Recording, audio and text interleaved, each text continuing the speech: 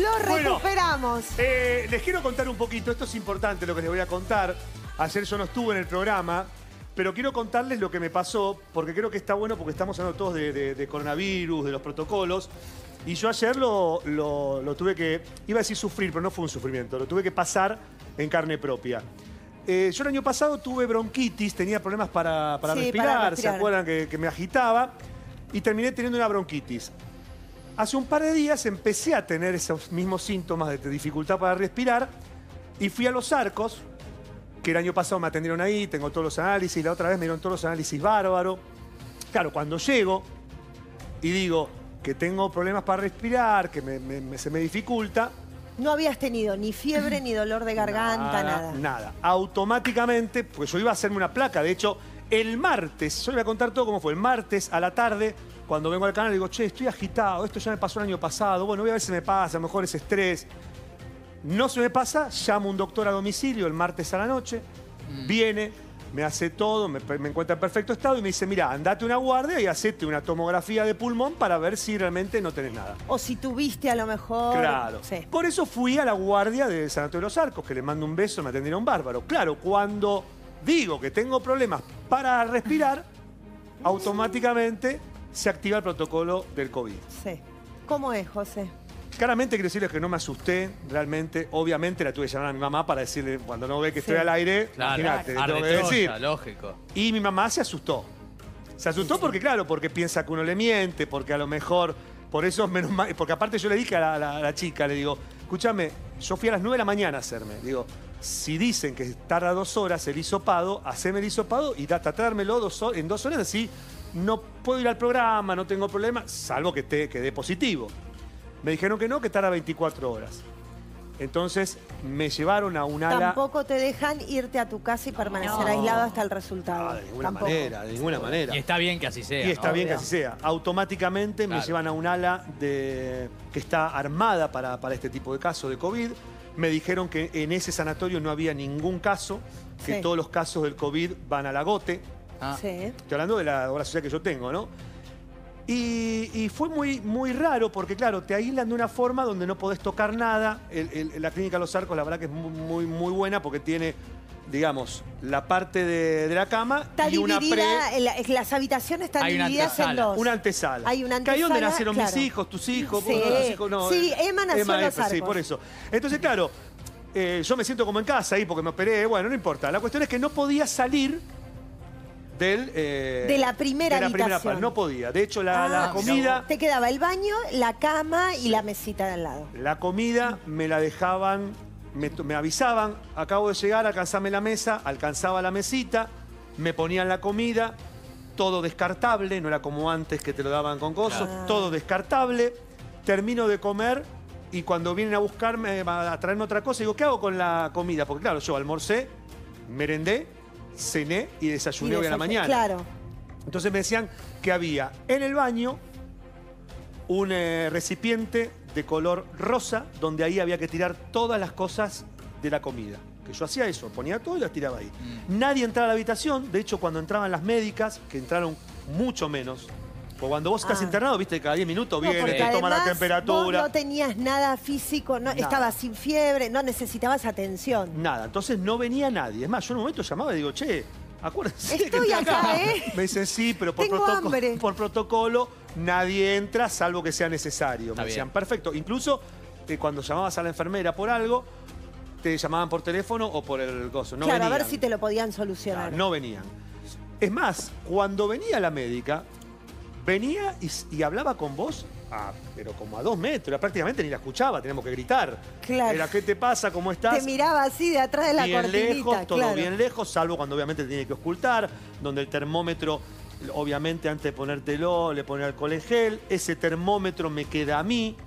Ah, es tu termómetro. Este termómetro, obviamente ahora ya debe ser de otro, pero digo, Claro. todo el proceso estuvo conmigo. Eh, ¿Qué más le puedo contar? En un momento, bueno, yo creo, y esto es una apreciación personal, muchos médicos y muchas enfermeras parece que están un poquito asustados. Eso te iba a preguntar. Ah, Están sí. un poco asustados. Yo le contaba recién en maquillaje eh, el, el- el episodio que tuve, que fue, ahora es gracioso, pero yo estaba comiendo, creo que estaba merendando, y entra una enfermera. Y cuando entra me dice, te tenés que poner el barbijo cuando yo entro, ¿eh? Me dice. Le digo, pero estoy comiendo. Ah, ah, ah, ah. Bueno, cuando termine de comer, ponete el barbijo. Es como que Claro, hay toda una situación Sí. de, de miedo. eh, creo que en pasa- ¿Te hicieron Perdón, radiografías José. también? Me ¿O hicieron solamente? tomografía, Ah. me hicieron examen de sangre, me hicieron. para eso bueno, te trasladaron a- Pero claro, en realidad hicieron todo, todo eso te lo hicieron por lo que a vos te está Por lo pasando, a mí lo que me ¿no? está pasando. Porque había Claro. que descartar que sea una bronquitis, una neumonía o lo que sea. Sí, Pero sí, me sí. parece que Eh, lo que José está contando también es en carne, en primera persona, lo que están viviendo todo el personal de la salud. Cuando salimos a aplaudirlos, lo que en tu caso vemos Sí, sí. es esta exposición constante, porque vos por suerte no tenés, no tenías COVID. Pero en otros casos, esta exposición constante, si no tienen esa paranoia, Sí, se pueden sí, sí. contagiar No, No, vos rápidamente. imaginate esa enfermera que vos estaba sin el barbijo. Al día siguiente, no, al final a Listorti le dio positivo. Claro. Tiene Sí, que sí, volver sí. a su casa con su familia, con, Claro. ¿no? Eh, Bueno, esto es un riesgo. Claramente me dio negativo, si no, no estaría acá, Por ¿no? suerte. Claramente. ¿Te imaginas si decías ahora, Por me dio eso- no, no. positivo, chicos, lo ¿Y quiero cómo Pero contar? pensaba yo, en un momento anoche, yo estaba, esta cosa que uno tiene que se conoce, yo estaba convencido, si bien es un virus que no conocemos, si bien es algo que no sabemos cómo se desarrolla, incluso hay gente, hay gente asintomática que tiene coronavirus. Que eso es lo que más asusta, me Claro, parece, ¿no? yo la verdad no tenía ningún síntoma, no me dolía nada, no tenía fiebre, no tenía tos, no tenía dolor de garganta, eh, no tenía moco. Lo único es esta dificultad para respirar. Y en el Claro. protocolo es eso está tildado. O sea que me tenían que hacer y agradezco que me lo hayan ¿Y hecho. cómo fue el testeo? El testeo es un hisopado que te hacen que es bastante Molesto. molesto, pero la verdad que me lo ¿Por la banqué. nariz Acá. o, o Los en la garganta? La garganta Ah. dos veces y por la nariz también dos veces. Que encima, perdón por lo voy a contar si da impresión, pero yo no lo vi, pero el- la persona que me lo hace, que es un fenómeno el pibe, me dice cerrá los ojos en nariz porque te va a dar impresión porque va muy adentro. Pero no me dolió, pero no duele nada, chicos, ¿eh? Nada. Por eso me dice que ¿Qué cierre porque es la sentís, como impresión. que te entró es agua? coquillas. Ah, No, coquillas, coquillas. no que Incluso sentís que te golpearon la nariz, nada Nada, nada, nada, nada, ¿Y no. cuánto Lo del demora, hisopado José? tampoco te da un poquito de arcada, Sí, pero... pero eso es como el hisopado típico, normal de, claro, de de la garganta. Que son de la 10 garganta. segundos. Nada menos, eh, te pone el cosito así, eh, ahí, acá con la nariz lo mismo. Claro, y El de después- nariz cerré los ojos. Y después pero 24 horas. para 24 saber- horas. Por eso yo fui a las 9 de la mañana ayer a los arcos y me dieron el alta hoy a las 10 de la mañana. Claro. Sí, me dieron el ¿Y te alta. explicaron qué es? Porque se habla de eh, los tests rápidos. ¿Te explicaron la diferencia? ¿Por qué no te hicieron el test rápido? ¿Algo o no? No, le Porque pregunté, le dije, che. ¿no andan diciendo por ahí? O el presidente mismo dijo que son dos horas. No sé, nosotros ese test no lo tenemos, dura 24 Me parece horas. que eso Es más, una, perdón, ¿eh? una de Sí. las enfermeras, cuando viene, le digo, che, ¿sabés si está? Porque me dijeron también que a lo mejor a la noche me lo podían dar. Pues si se Claro, aceleraban las cosas, claro. puede ser, a la noche. Entonces a la noche le pregunto, le digo, che, ¿sabés? A una de las enfermeras le digo, ¿sabés si...? Todo gritando porque estamos un metro y medio, ¿no? Digo, che, Sí. ¿sabés si, si me pueden dar el Y la resultado del, tapada. claro, del COVID?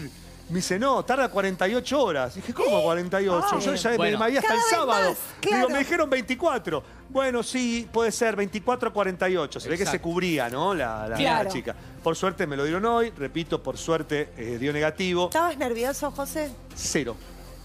Ah, estabas convencido que Pero no igual, tenías. igual hay, Cero. hay un juego de la Cero. incertidumbre, me parece. Porque lo que te pasó a vos, por ejemplo, en el mismo sanatorio, le pasó a un compañero mío de la radio que está en la Peña de Morfi, que es Pato Mucio, el Ajá. imitador, que tiene una bebé muy chiquita. Y, y la bebé tenía alta fiebre, estuvo en el mismo sanatorio y tuvo muchas horas de espera, más de 24. O sea que ese lapso, por más que uno, porque podés ser asintomático y por más que vos estés muy tranquilo, igual juega algo de la incertidumbre hasta sí, que te dan el Fue resultado. por No, y la momento que Si pensé- a lo mejor por ahí no lo tengas, pero si ya lo tuviste, eh, también es eso, ¿no? hay que te dé Ah, positivo No, pero aparte porque ya yo, lo tuviste. lo primero que hice es llamar a, Gaby, llamé al Chato Prada. Sí, hablamos El Chato nosotros. Prada habló con, con sí, te agradezco que me llamaron, me llamaron todos, así que gracias chicos, No. me llamaron todos los Sí, compañeros, muchas preocupados. gracias. Digo, eh, hablé con Diego Toni, porque Diego Toni me dice, le conté y me dice, no, quédate tranquilo, yo sé perfectamente cómo es el protocolo, porque mi mujer trabaja en un hospital y vos vas con cualquier dolor y te hacen protocolo. Igual, manteneme al tanto, porque yo en un momento lo pensé, digo, si me llega a dar negativo, Claro. eh, perdón, positivo. positivo. Todos los compañeros tenemos que aislarnos, todos los Claro. que estamos acá, No en la radio lo programa. mismo. Yo no sé, desconozco el protocolo, que lo tienen porque Pero lo perdón, sé. antes de aislarnos le pegábamos un rato, ¿no? Nos vengábamos. para, para, para. ¿Y No, si me lo porque vos no contagiaste lo vos? claro. No, vos, vos sos... Pero, ¿qué sabe? Yo me lo hago y por ahí no me lo Y pero contagié. ¿cómo lo contagiaste vos? Claro, Claro, no se sabe. a Claro, nunca a sabe dónde Claro, viene. nunca sabe dónde sos viene. Claro. Eh, No, obviamente. no, eras vos el apestado. en un momento, obviamente, lo pensé. Dije, uy, qué despelote que se llega a armar si realmente me da Claro. eh, positivo. Porque, repito, todos estos trabajadores, Claro. yo sé, lo hablé con Diego Toni, gerente de programación del canal, que tiene un protocolo por si llega a pasar, porque Claro. Está. Lo necesita. yo siempre digo, en el mazo esta baraja está, puede estar, no solo en este qué programa, en otro. eh, Diego Toni. ¿Qué deberíamos, todos los que trabajamos en Hay te- que ver, Por eso fíjate que- deberíamos que, siempre eh, son los mismos. 14 días? Creo que ese cerraría el programa por 14. Este programa, el programa que fuere. Desconozco cuál es el, el- el protocolo. y ¿eh? el canal Desconozco. puede seguir trabajando. Sí, sí, porque está todo sectorizado. Claro. Seguramente este estudio queda inutilizado para higienizarlo y todo eso, porque obviamente todos los lugares, de hecho, todos los canales tienen un protocolo, hay canales claro. que tienen estudios cerrados, acá el canal seguramente tiene esas ideas, porque, por ejemplo, si pasa en este estudio, no se pueden hacer los otros programas que salen desde acá. Lo que pasa que, vuelvo, vuelvo a decirlo, a mí lo hicieron por protocolo. Yo no tenía ningún síntoma que tenga que ver con el coronavirus, con el coronavirus salvo esto de la respiración. Pero quiero aclarar también, y que eso está bueno, Mm. que nosotros, yo en lo personal, hablo por mí, yo supongo que ustedes también, nos cuidamos muchísimo. Sí. Que nos Sí. podemos contagiar. Y sí, nos podemos Sí. contagiar. Sí. Puede Pero pasar. gracias a Dios las probabilidades son pocas, porque primero en el canal nos cuidan como si fuésemos campanita de cristal. Sí. Están todos con el barbijo, yo siempre digo, las, las puertas de los, de los estudios están abiertas, cosa que no tengas que tocar. Hay alcohol gel, pero en todos los pasillos. temperatura. Yo no hablo ni la puerta de, mi, Sí. de mi camarín Sí. porque ya está abierta, tengo que nada más que empujarla, cosa de no. Tengo en mi camarín alcohol en gel, Yo tengo desde la que la mano. temperatura hasta para ingresar tres incluso, la temperatura al ingreso. gel, La claro. temperatura al ingreso, o sea, Sí. está todo el protocolo en- a nivel personal exactamente lo mismo. Sí, yo sí. llego a casa, yo con mi, con mi hijo ya tengo una rutina, que es que entro y él me prende, me prende la, la- sí, aparte de sacarme todo, me prende la luz del baño, cosa que no tengo que sacar la, la- la llave de luz, él me abre la canilla y él me da el jabón líquido, porque tenemos jabón líquido Ah, para perfecto. Y él me pone así, hago y después yo apago todo. Ya la tenemos como rutina, ya Bien. sabe cuando escucha el portón que me tiene que hacer eso. Eh, eh, nosotros la verdad que nos cuidamos todos, pero porque es lógico, porque tenemos que hacerlo. Y está muy bien lo que me pasó ayer, está muy bien el protocolo. Yo la verdad, en un momento, me- me- me- no digo la palabra me enojé, pero fue esta cosa de no tenerlo previsto, de ir por una, por una simple placa a tener que internarte 24 horas. Porque Está bien. además vos no tenías todo el resto de los síntomas, no te había dolido la claro. garganta. No, pero es porque era un tema pasa- respiratorio. Porque Claro. yo fui a la Claro. clínica hace dos días por otro tema y no me pasó no porque pasó. No, no era por un síntoma de, de coronavirus, entonces no me hicieron ni sopado ni nada. Lo Claro. tuyo al ser respiratorio, Pero además pasa algo, cuando se habla de una enfermedad que vos la podés transitar sin síntomas, también eso genera un miedo enorme, porque por ahí Claro. tenés ese pequeño síntoma y nada más. Porque cuando te dicen hay que tener fiebre, pero si hay gente que la tuvo y ni se enteró. no, por eso, por Entonces eso, es toda una gran incertidumbre. Por Más eso vale repito, ante la duda. repito, cuando a mí me dijeron tenés que quedarte 24 horas, dije, uy, no, pará, porque aparte yo no había, pero mirá qué pavada te voy a decir, no, te, no había llevado ropa, no había llevado ni, ni dentífrico, ni desodorante, ni cargador del celular. Todas cosas que, nada, y cosas que uno piensa en el día que va a hacer. Claro, Esto es secundario, porque ¿Y yo ya por qué levanto. te pasó eso? ¿Por qué? Por no escuchar a tu amiga Ah, sí, me dijo. del no, alma. bueno, pero pará, pero mirá que ella me No dijo, mirá que si vas te van a aislar. te Digo, ¿cómo quedas van a aislar? Pero, pero fíjate Sí. que lo, lo aislaron a Charlie García esta semana. Charlie tenía fiebre y tenía temas respiratorios. Dos síntomas compatibles con COVID-19. Lo internan en el diagnóstico, le hacen la prueba, no tenía COVID, pero estuvo dos o tres días internado. Bueno, lo que pasa es que las enfermedades siguen existiendo. Yo no voy a dar el caso, pero nosotros conocemos a alguien que tenía fiebre, que la pasaba mal, que tenía dolor de garganta, bla, bla, bla, se hizo el COVID negativo y tenía otitis. Claro. Otitis. Claro. Y nada más. O Es que muchas enfermedades enfermedades que de tenés. siempre siguen existiendo. Claro. Y además con Pero el el frío. Ana Rosenfeld con nosotros, después la vamos a presentar bien. Gracias, ¿Querés que Ana. nos- no. Sí, No, ¿Nos pero- sentamos? ¿Nos sentamos? Sí, sí, a ver, presentamos. Sí, sí, ¿Qué, Ana, sí. qué querías decir? No, yo les cuento que los últimos días de marzo lo viví en, yo también en carne propia, porque mi nietito de dos años eh, estaba con un poco de fiebre, pero no tenía ningún otro síntoma más que la fiebre. Entonces el médico le sugiere, ella vive enfrente de la Trinidad, le sugiere cruzar la calle. O sea, porque era lo más fácil eh, para que le hicieran un hisopado y poder detectar qué podía tener. En el momento que ingresó al sanatorio, activaron un protocolo. Claro. Mi nieto se tuvo que quedar dos días esperando el resultado, con mi hija, por supuesto, A veces bebé ve de- que pueden ser hasta 48 hasta por 48 horas. eso, Sí, sí. con mi hija eh, por supuesto que dio negativo, que no tenía absolutamente nada, pero entre comillas, te comes un garrón, Sí. no solamente, o sea, por un lado positivo el tema de que te estén cuidando y controlando, pero por así. otro lado, Sí. por otro lado, el saber que estás 48 horas en un lugar absolutamente aislado, Claro, aislado. eh, como decís vos, te tratan a distancia, eh, desde la comida, o sea, no podés salir Bueno, de la habitación, que por supuesto no Yo no podía salir, una- no solo- no- obviamente al pasillo ni hablar, pero no se podía salir ni a la nada. antesala. Bueno, No, esto, absolutamente eh, Por nada. estas cosas que están contando, es que hay mucha gente, por esa y por el miedo, sobre todo, es que hay mucha gente que tiene que atenderse por otras cosas y no va a hacerse atender. Bueno, pero vos pensás que esto Eso había está sido ni bien Eso ahora, está pero esto había sí. pasado ni bien empezó la cuarentena, con lo cual, por supuesto, no existía todavía lo que hoy por hoy tenemos claro que si podemos Lo que pasa algo también, sobre todo con los hijos. Que en esta época que empieza el frío, se enferman un montón los chicos. Ahora que no están saliendo de casa, no. La No, verdad que la, en la primera vez en mi vida que ninguno de los chicos no tiene ni un resfrío. ni, ni piojos. Pero, claro, ni piojos, nada. Eh, arranca esta época. Yo todos los años a uno o a dos de mis hijos les tengo que hacer un hisopado. Claro. A ver si toman Claro. o no antibiótico por un dolor de garganta. Y yo hoy no sé si lo llevaría a una guardia, porque es esto. Va con un dolor de garganta y queda internado dos días. Eh, Bueno, pero hay- que uno llevarlo, No sabe qué porque a lo mejor Claro. tiene Ahora, coronavirus. Claro, pero Claro. hoy por hoy, ya con el libro avanzado, Sí. ya podemos tener otro tipo de, de- de- de entendimiento qué es lo que Claro. está pasando. Pero esto ni bien empezó el tema de la cuarentena, no era sabido. Mi hija cruzó Claro. inocentemente a un hisopado y lo primero que le Se dijeron, no, ahí. se tiene que quedar acá 48 horas. Imagínate Bueno, el grado de O tosen dos desesperación. veces y se te para el corazón y decís, bueno, ¿qué hago? Sí, ya sí, lo sí, llevo sí. por las dudas, Sí. lo, lo sé, viste. No, es no, igual tiene es muchos recaudos en las clínicas, ¿eh? Sí, muy bien. Ahí me hicieron una Sí, resonancia sí. magnética y me hicieron dejar el barbijo una hora veinte de un resonador. Sí, sí, no, Es no. no. decir, a mí, me- perdón, a mí me llevaban en silla de ruedas, ¿eh? Me llevaban en silla de claro. ruedas para no tocar nada, para que no toque nada, eh, con, con una máscara que me dan ahí, máscara que después Sí. la descartan, o no sé si la, la van a esa, esa máscara, pero no barbijo, ¿eh? Máscara. Claro. Sí, Sí, la tiene transparente. La. Transparente, no. Eh, les quiero mandar un beso enorme, ¿Descansaste ¿eh? por lo menos?